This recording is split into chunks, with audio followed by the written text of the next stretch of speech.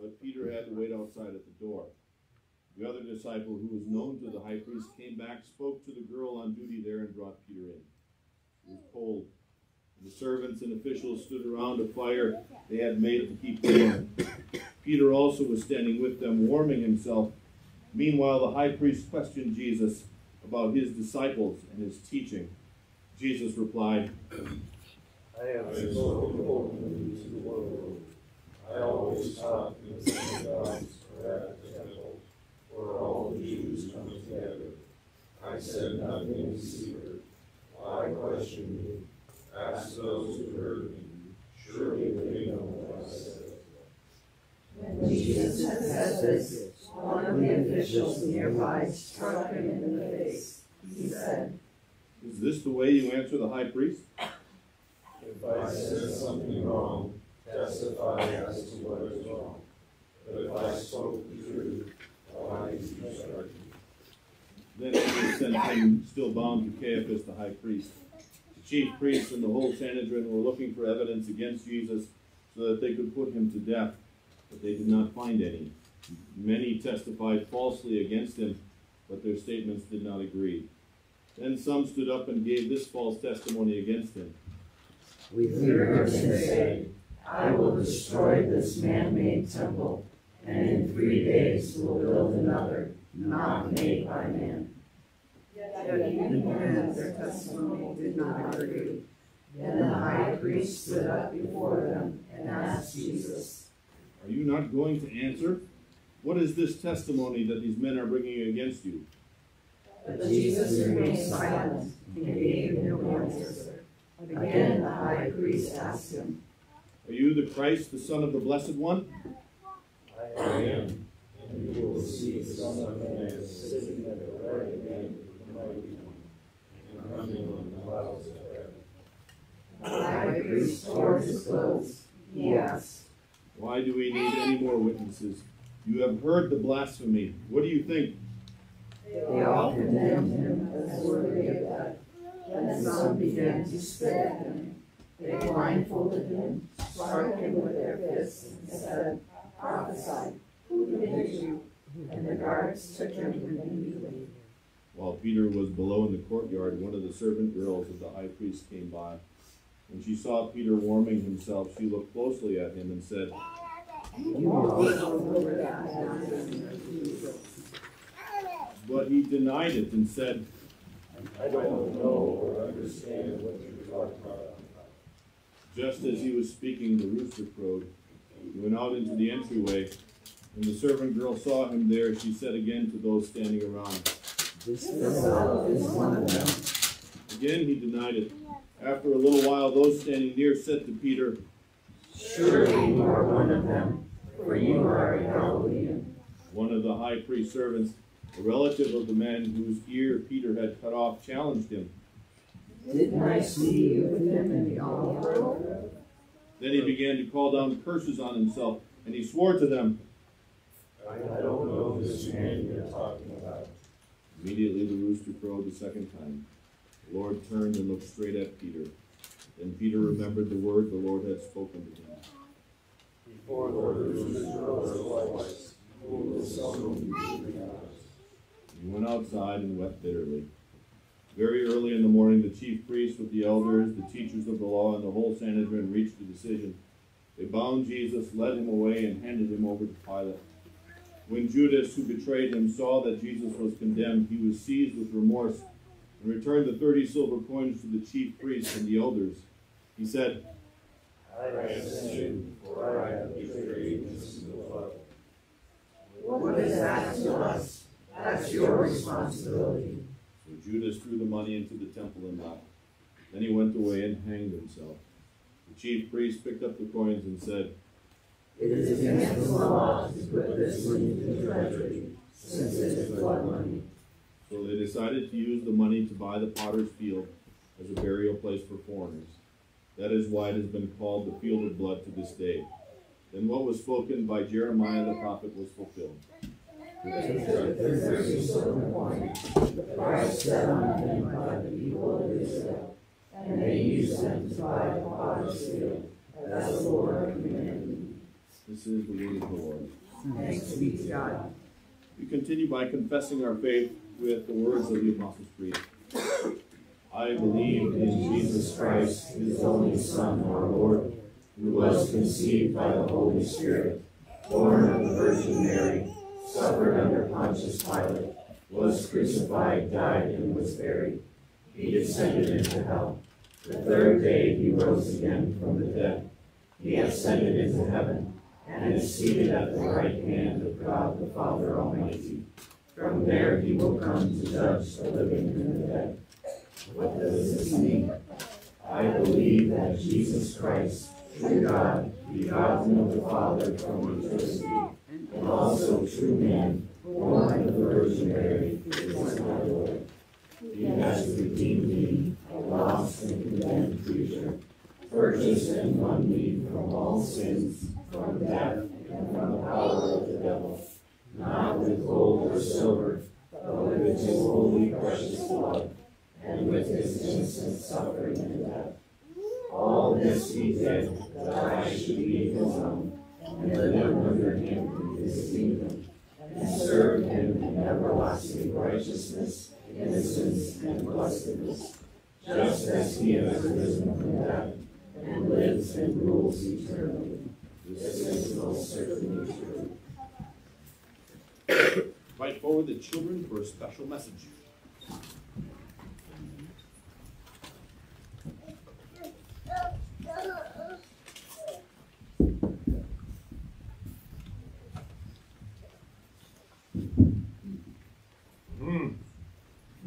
Good morning, guys. Good morning, Charlotte. How are you? You doing all right? Yeah? You doing all right, Brad? All right. So, so I want to talk to you a little bit about what Lent is all about. Okay, Lent? You got the purple up there. See, it never used to be purple, right? It's a time when we take a look at Jesus dying, right? Oh, one more coming. Good morning.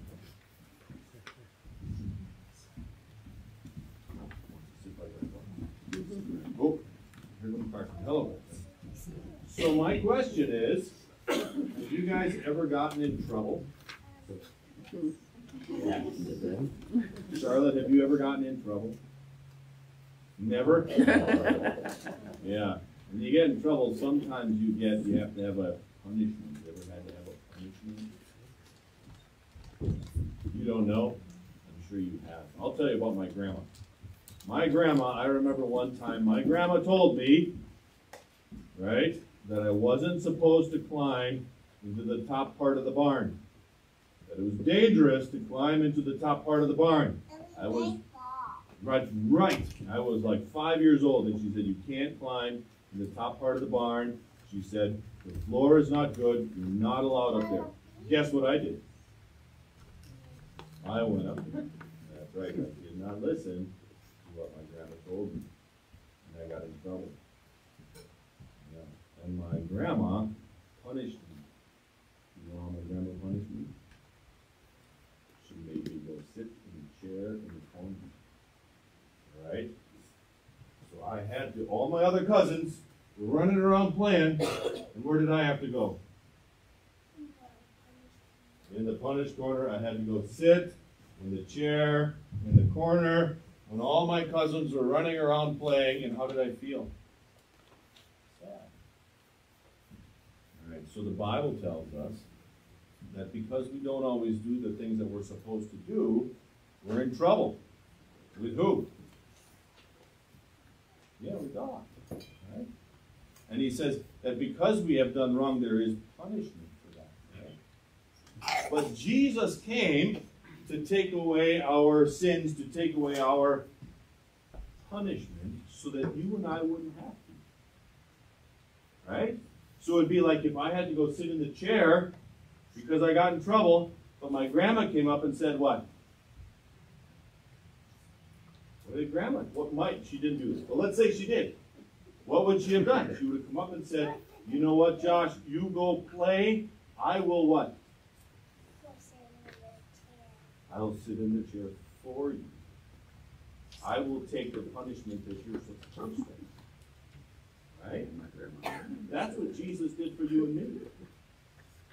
We were supposed to be in trouble, but we, because we sinned, we did stuff that we didn't. But Jesus took our punishment, and he didn't go sit in a chair. What did he go and do? Brad, what do you think he went and did? He said that he didn't go sit in the chair. No. What did he go and do? Why don't you go sit by her?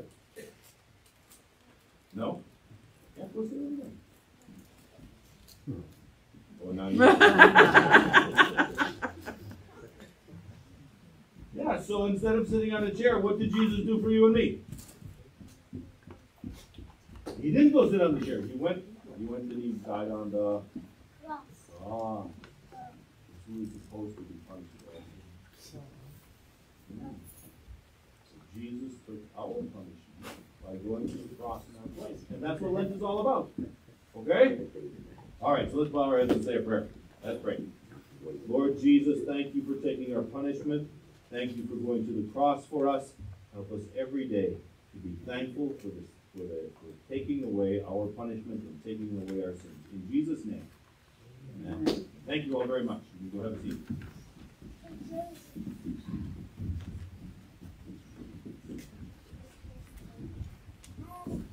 Join together in our next hymn, Rock of Ages. Let's stand and join together in song.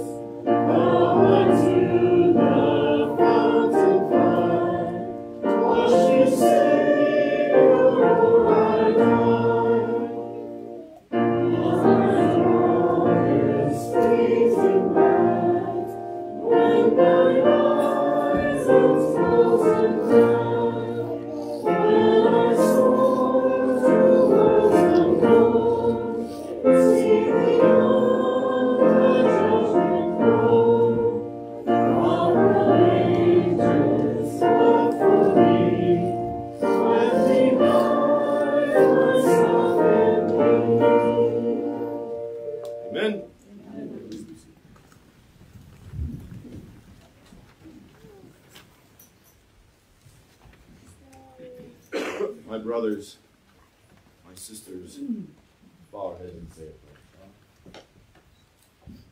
Lord Jesus, I give you thanks for the day for the opportunity to gather my brothers and sisters and to gather around your word. Pray, Lord God, that you would bless us and help us understand what great love we have for us. In Jesus' name Amen.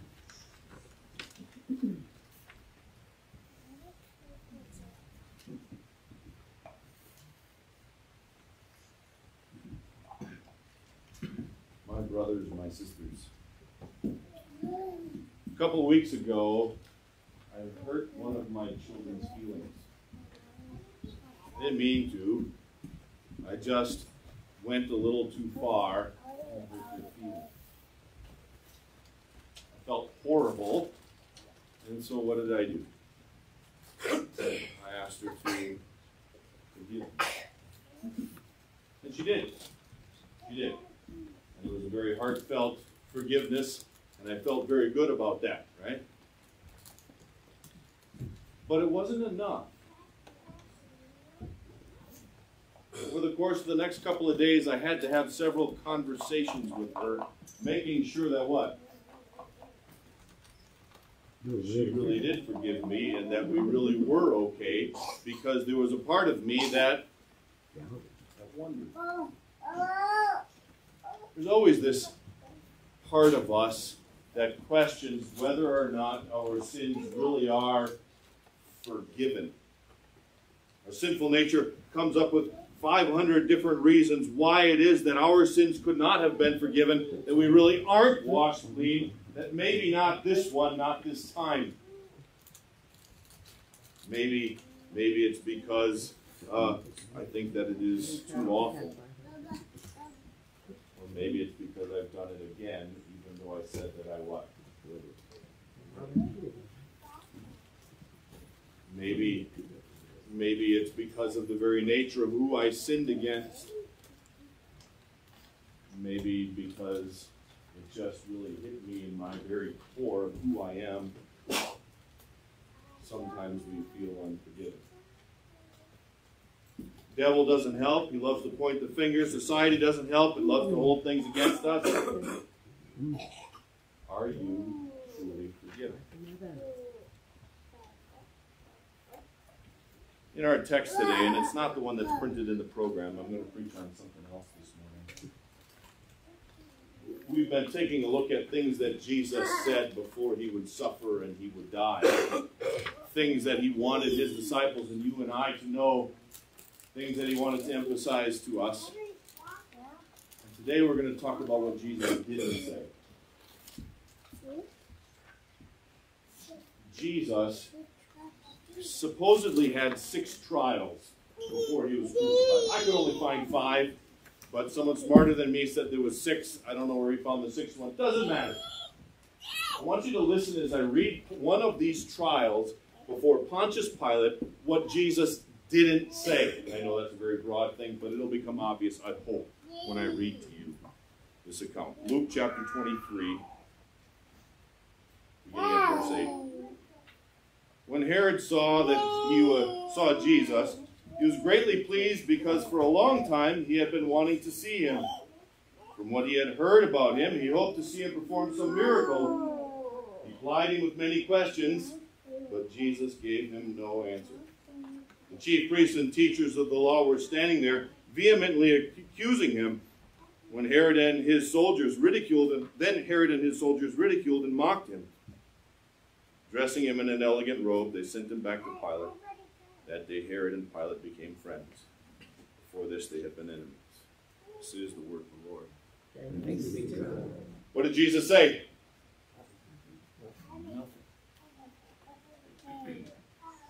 It's not just before Herod that Jesus did said nothing. When he was on trial before Pilate, Pilate would accuse him of something and say, These are the things that they're saying about you. And what would Jesus do? He answered different questions and things like that, but every time that they accused him of something, Jesus said nothing.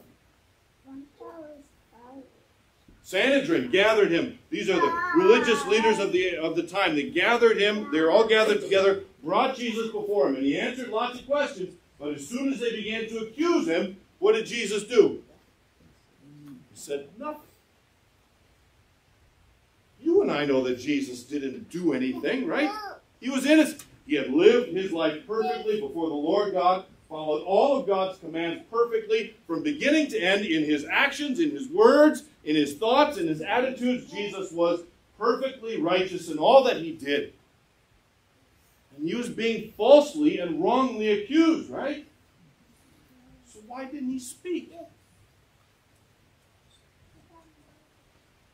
Isaiah talks about it. He prophesied that this was what was going to happen, right? As a sheep before her shearers is silent, so he did not open his mouth. Peter writes about it. He says that he refused to defend himself before, before Pilate. Why would Jesus refuse? Throughout the Old Testament, we read about God. He defends those who are being falsely accused, He stands next to them. He does not like people who are being oppressed. He does not stand for injustice. He stands for justice and what is right and what is good. And throughout the Old Testament, he accuses the Old Testament Israelites of not being fair, not being just. He speaks his mind about that. Why suddenly does God go quiet when he is the one being accused, when he is the one who is receiving injustice? Why doesn't he defend himself? Because you and I know that he is innocent, right?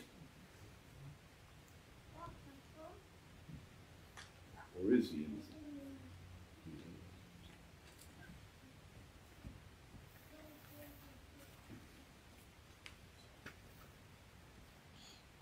Seems as if Jesus were truly innocent. No. He would speak his mind because that's his character.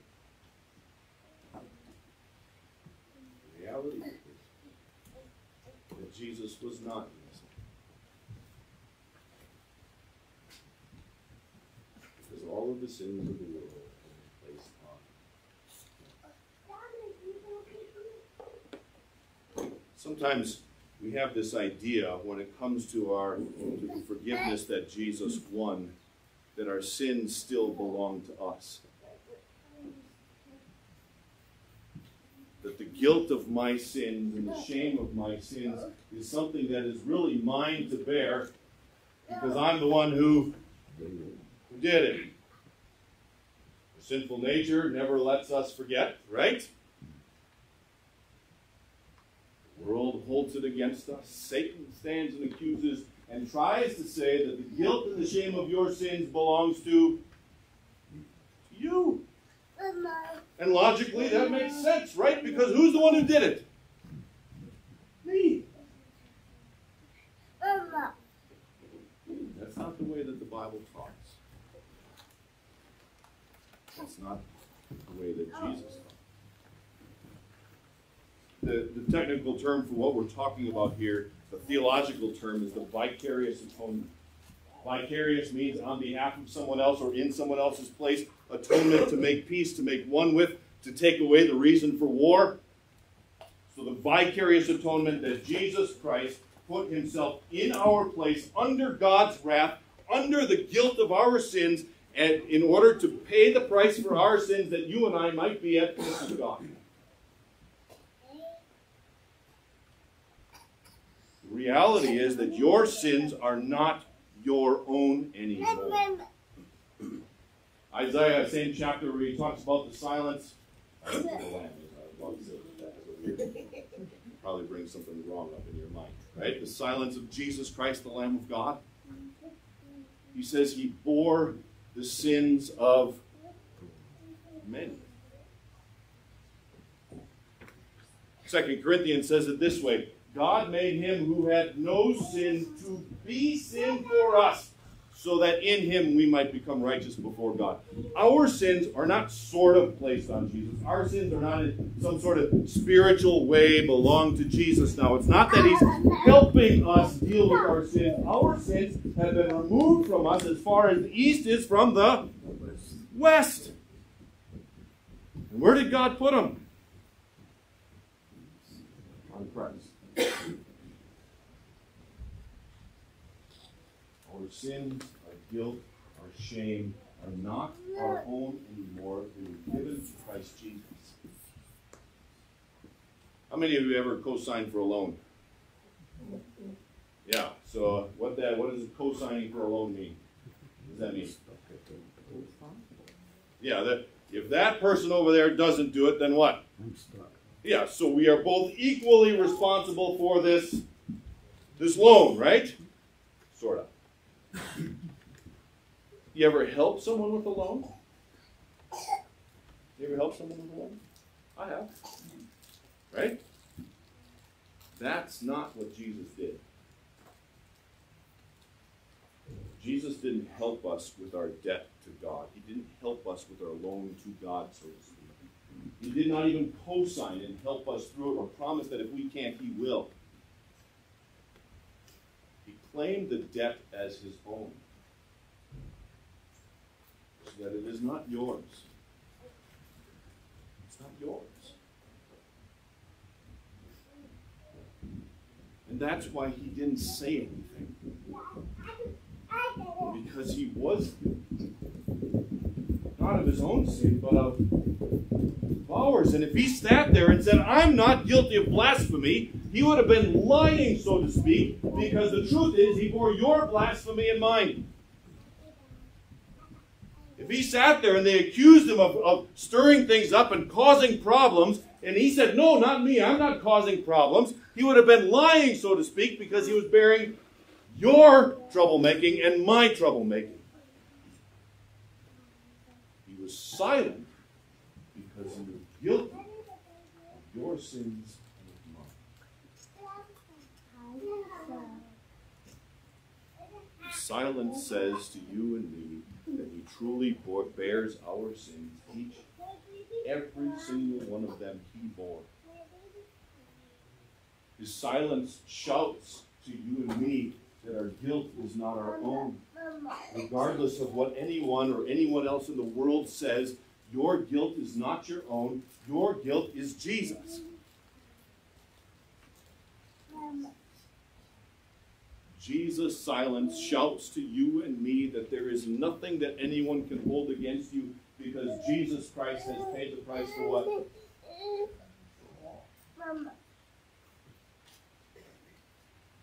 Went back to my child and asked for forgiveness again because I needed something called reassurance.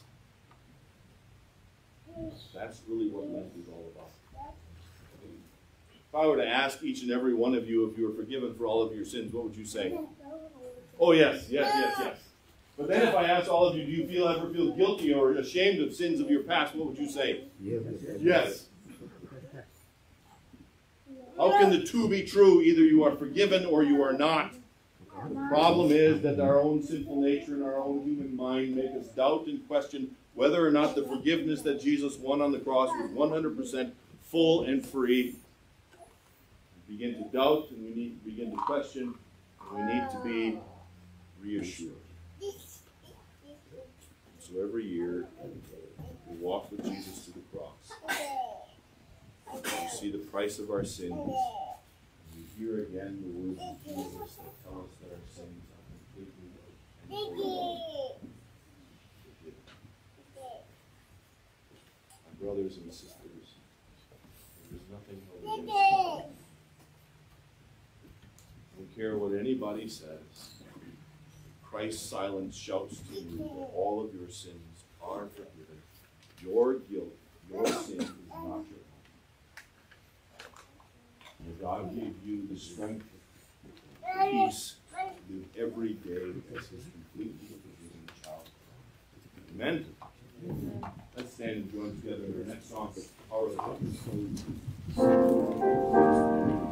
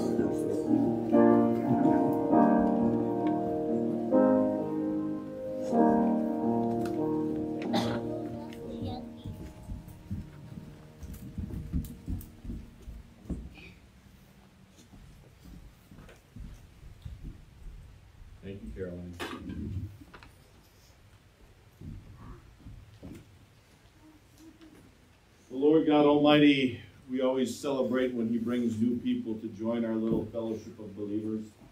Uh, we recognize that it is God who joins us together, but sometimes things change. And God leads people to another place because of different things that happen in their life. And it is right for us to say goodbye God's blessings. Uh, thank you for the time that you were our brother or our sister. We're going to do that now with our sister, Miss Elaine. So I invite her forward.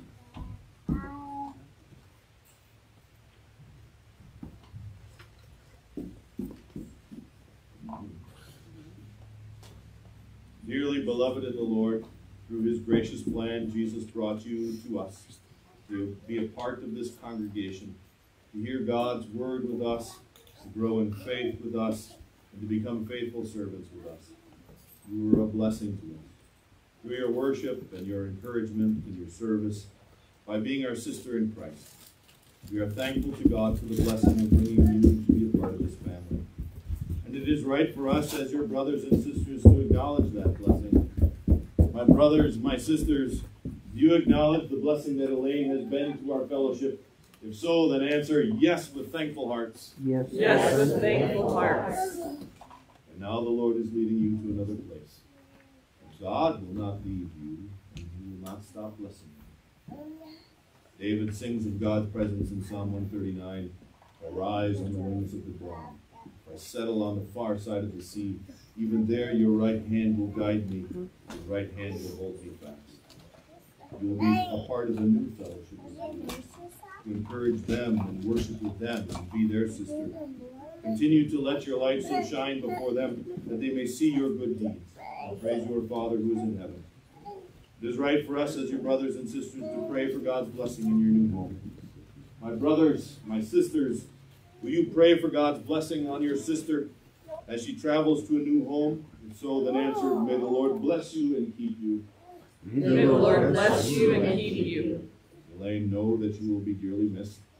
You will always be welcome back here at Living Hope Lutheran Church, and that you have a family here who loves you. We will pray for you and ask that you would also keep us in your prayers as we continue to do the work the Lord has called us to do here in Congress. And. Lord God, Heavenly Father, you called Abraham to leave his home and go to another place. You led him safely on his journeys and blessed him in his new home. We pray that you would do the same for our sister Elaine.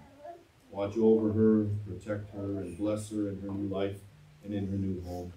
We thank you for the fellowship we shared with her, for the encouragement we received, for the service she gave, and for the salvation that you have given to all of us. Keep her safe from harm, give her opportunity to let her light shine, and though years and miles may separate us, help all of us to continue to find joy in the fellowship that we share in Jesus.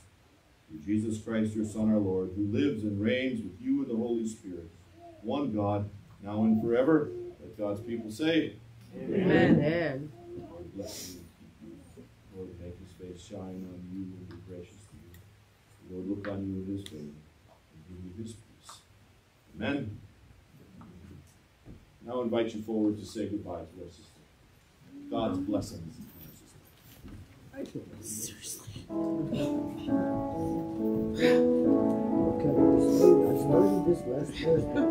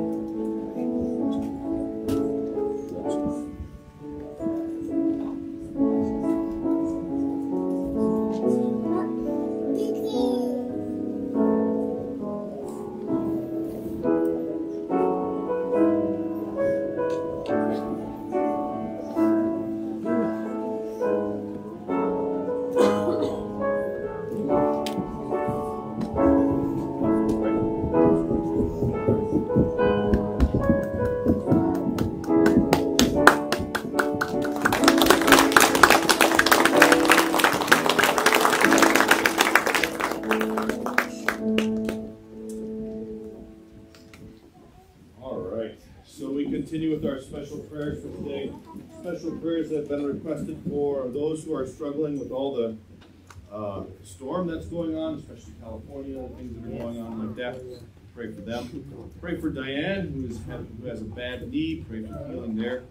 Uh, prayer of thanksgiving for healing for our sister Deb and our brother Paul. Both of them are doing well, so give thanks to God for that. Prayer for Bakhmut. what? Bakhmut. Bakhmut. Bakhmut. So the Lutheran church, our sister's church in Bakhmut was destroyed uh, this last week by a bomb or a missile or something. Um, the pastor was actually in the church at the time that it was destroyed, setting up communion. He's fine. So is the communion ware. He said, he said, he said the wine never rippled. We'll give thanks to God and ask the blessing. Birthdays for our brother Robert, our sister Quinn, our sister Hannah. We'll remember them in prayer. And uh, marriage anniversary for Keith and Debbie. And, uh, are there any other prayer requests today? Yes. My mother I can't last year stand this, of course. was trying to find a place for her to go. and, uh, just pray for her safety and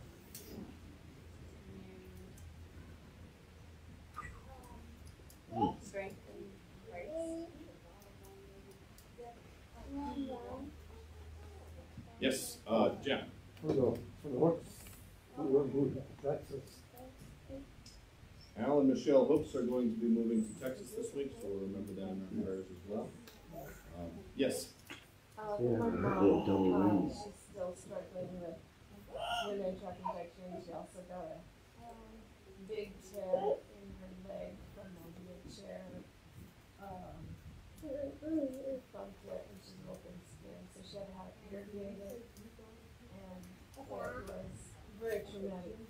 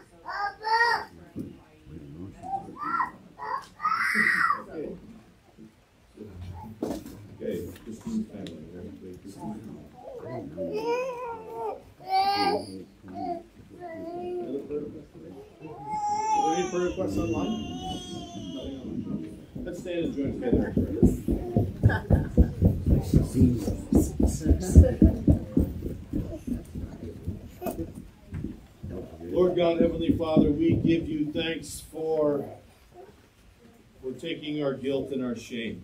Thank you, Lord Jesus, for taking our place.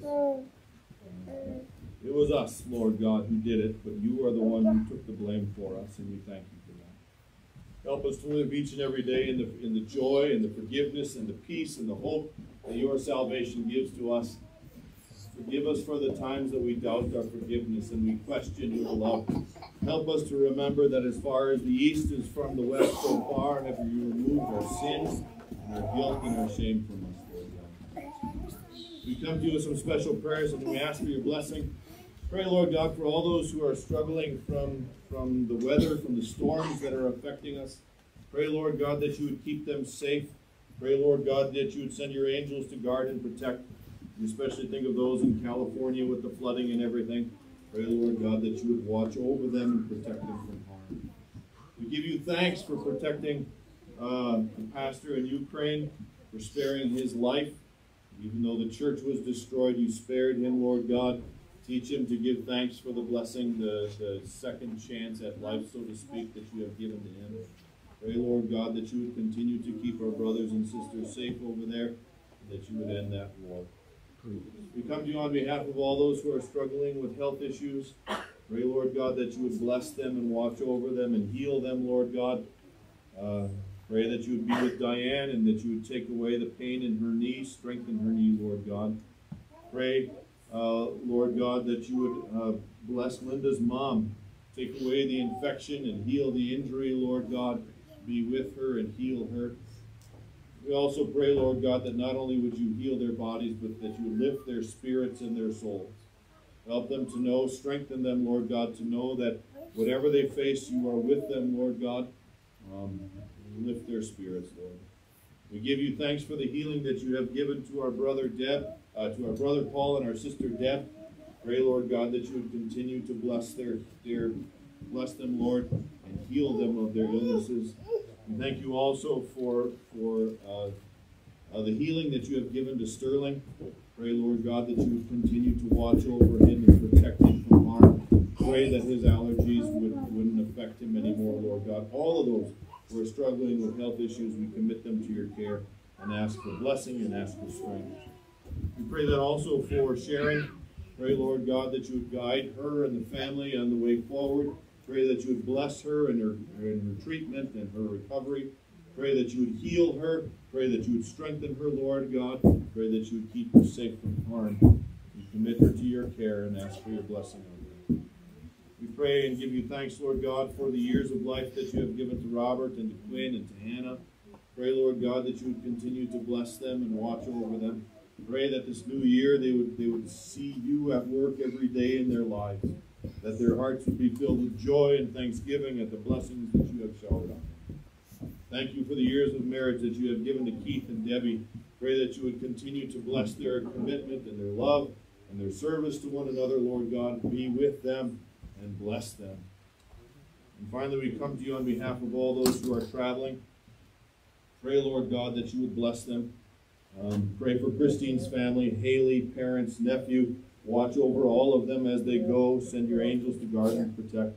Same for Linda and her daughter and granddaughter. Be with them as they go. Watch over them. Help them to have a wonderful trip and bring them back safely. And pray that you would be with our brother and sister Alan Michelle. Pray, Lord God, that you would watch over them, that you would bless them in their new home, that you would bless their trip, Lord God. Um, we will miss seeing them, Lord. Pray that you would watch over them. We pray all these things in Jesus' name, who also taught us to pray. Our Father in heaven, hallowed be your name. Your kingdom come, your will be done on earth as in heaven. Give us today our daily bread. Forgive us our sins as we forgive those who sin against us. Lead us not into temptation, but deliver us from evil. For the kingdom, the power, and the glory are yours, now and forever. Amen. We join together in the verses in the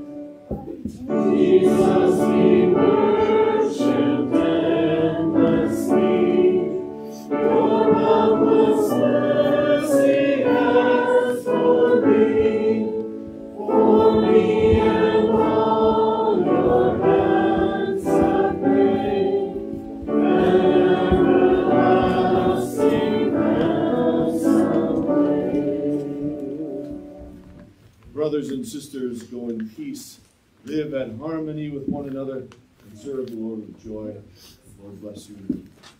Lord make his face shine on you and be gracious to you.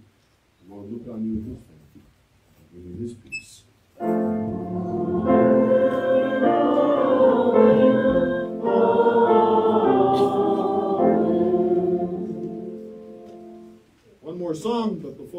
Do, take a moment to greet the people around you. Shake your hand.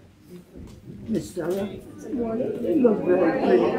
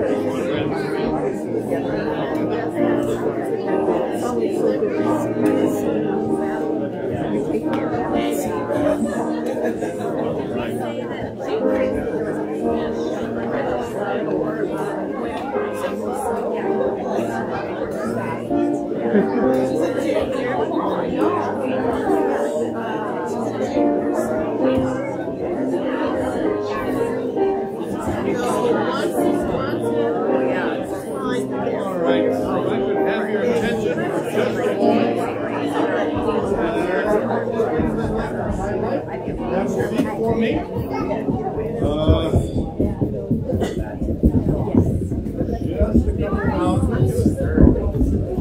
Uh, If you look, take a look at the inside of the program, you'll see different things that are going on there. This afternoon, this afternoon, youth are going to Art Museum be here for?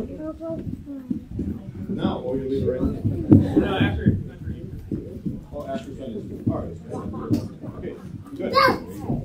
Um, otherwise, you can take a look at different things that are going on. Uh, Easter breakfast sign up, we're doing a pancake bar. There's a sign up sheet on the board in the back. Please sign up for anything that you're willing to bring. Very much appreciated. On March 31st, um, there will be a fellowship event at my house. You are all welcome to come. There's information there. Confirmation students, we will practice for confirmation here, and then we will go over to my house, and, for, and everyone else will already be there. We have some games and some fellowship. Love to have you join, join me at my house on the 31st. Okay? Um, any other announcements that I need to make today? Anything else? Sunday school Bible class follow. Love to have you join us. Um, let's stand and join together in our closing hymn, Jesus Paid It All. Blessings on your week.